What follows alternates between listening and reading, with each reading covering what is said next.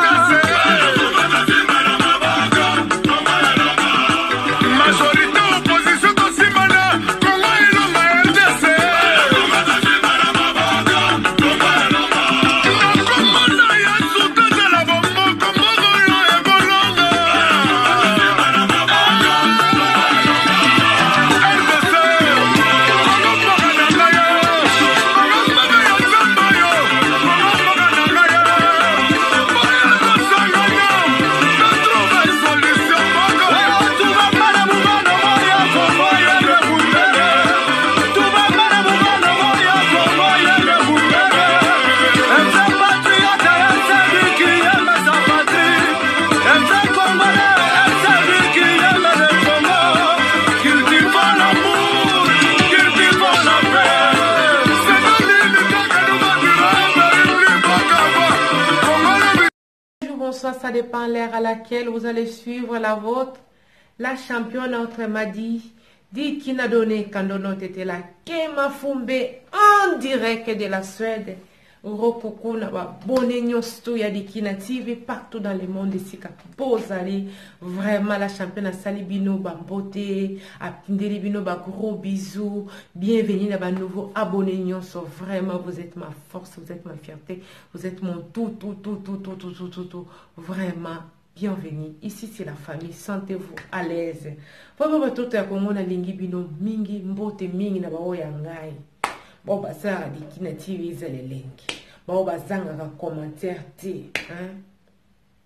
hmm? napesi gislin mbote sika azali yamba ya yo ye wana maria losamba mikolo oyo donc nayebi te minerva ya première trimestre ezochauffe na ndenge akosakana te donc bozwa bambote babeo ya bino ruth temo donc ya yo yango wana donc yasmine kan le sage parle donc sage aliki na tv donc boza ebele nalingi bino vraiment tellement ya trop tellement tellement tellement tellement et sans oublier basponsor officiel ya dikina tv donc vraiment basala mope beaucoup de respect naye na droit de réponse ya beauté ya mascara nzoki elongi mabe droit de réponse batoto ya kongo boyoka lisolo ee bana basi balobi J'ai y parle avec trois na resume yango kaka mpo ezala te ki obobo te mais makambo oyo balobaki ezalaki presque kaka ezo na ndenge moko abina moi ya lelo na mokili ya lelo la championne mobali moko te soki sur 10 loba demi nde bakolinga basi ya naturel nde bakolinga basi oyo ya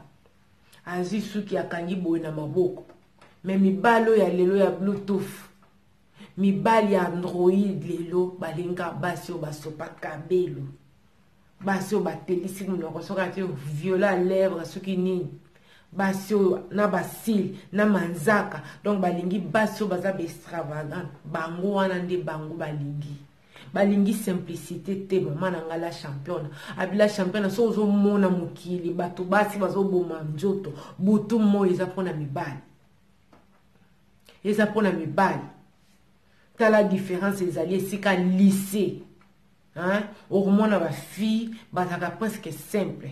par rapport esike ecole mixte ata balobi ke bokanisa kaka oyo etoile obe te ke de poisson okomona kaka ke basi bakozala na lolenge moko boye soki bato basimakilizaka souvent mpo na mibali on, on se fait belle souvent pour les hommes selon badire ya bagene oyo nasolo na bango alobi yaya na monde ya lelo vraiment la plupart ya mibali ya ba generation na biso balingi na bango simplicité te ke ola oh, mosusu boyokani bokendela biso resto yo wana ozoya avec de nat alobi balingi na bango te soki olobi obanda kotala ne fiske 5 ou 4 ex na ye omona kaka donc basi moko ya bichacha basi moko ya bikilakila somme donc eza nango kaka ba leson dit ou bien te balingi kaka koloba kaka oui peut-être toza ko exagere na ndenge ya kosemaki et tout mais na monde ya lelo na championa na monde ya lelo mibali balingi yango basi ya naturel te mibali mpe balingi kaka basi oyo donc bamare malo kua donc bamare malo quand je dis bamare malo donc osopi koto osopi koto osali boye nga koyi mikolo oyo bogar na bogar osentir donc voilà un peu alobi ndenge wana bogar na bogar bosentir na des fois aussi ah te ça fait du bien pardon nayebi ke soki nange ekufi me ezalaka ndenge wana bajeune balobi balobi ke mibali nde bozali kopousse bango Basopa makabelo bazalaka ndenge bazali wana pourquoi parce que bino nde bozosepela nango ezala ndenge wana soki kopesi ye rendez-vous kenda bokutana quelque part na resto bien mpe wapi soki aye na banati neti ayila champion na boye okolinga te okosepela te soki aye simple okolinga te bolingi basi ya baextravagant c'est comme ça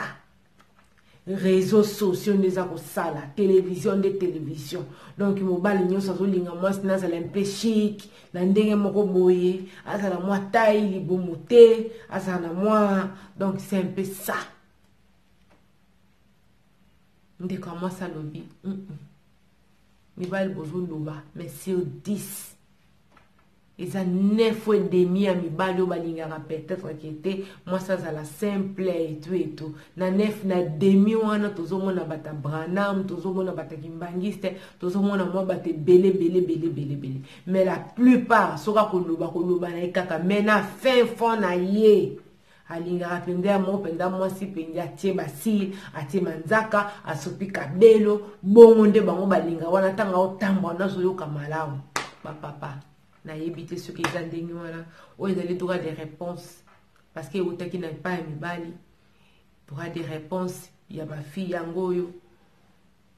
elongi bote ya mascara nzoki elongi mabe Bino nde bozolinga basi bazala plus artificiel ke naturel pourquoi boza ko apprécier plus basi artificiel ke basi ya naturel mpo mwasi atalaka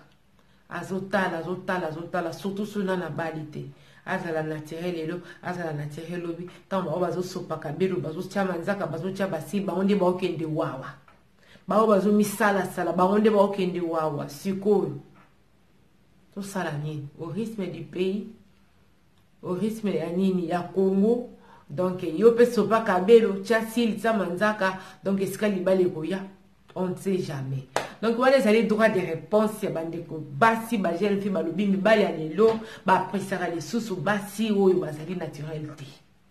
Vraiment te balingi basi oyo deja baza na makambo ya minene aza na basuki aza deja donc na mwa salaire donc azo se retrouve azorole mwa mwa motuka na ye abi mibali ya lelo donc balingi na bango basi ya bipumbulu te alingi ka envie mwasi mwasi oyo ntango azo presente ye boye donc azo peze balingi na bango bakece te balingi banini bagrand car donc bagrand car mwasi azo peze na beauté mwasi azo peze na intelligence mwasi azo peze na nini na makambo nyonso to vie sociale stable donc ezali nini droit de réponse babi mibali botika mpe kokosa bolobaka verite ke bowapresaka mingi basi oyo basalaka bisalasala nde basi oyo bolingaka bango wana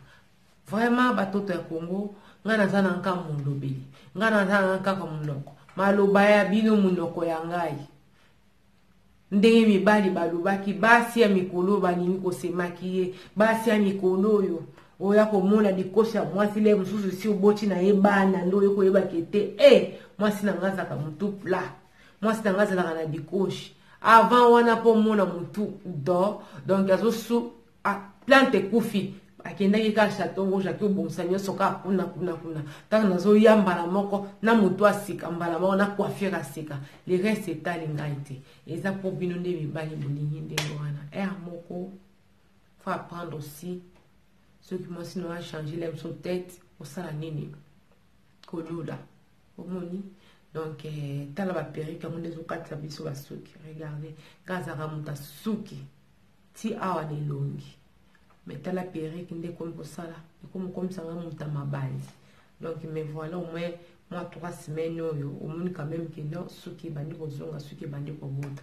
tosala nini bolingi mpe kaka basopela bino bakabelo bolingi mpe kaka basalela bino bikilakila botika mpe bolia bikilakila yango bodeklare te Vraiment nalingi bino mingi c'était la votre la championne entre madi dike na donne kandono tete la kema fumbe en direct de la Suède ba jeune fille balobi mibala lelo ba presaka lisusu basi ya naturel te ba presaka basi ya niantaba te mosusu kuta alobi imagine toi ke bopesa ene rendez-vous kanga niantaba okomona nde akotikala bouche be donc il va pas croire ke yo nde moto ozosala entrée Pourquoi oza aza o s'attendre malgré oza mwindu mais oza lem sous na suki ya blondine ou bien toza ou bien te na suki tina mapeka c'est les hommes de nos jours bo assumer pe ke bino nde moto bozo tinda basi ba chabi chacha nalingi bino mingi tokutani mbala sima bye bye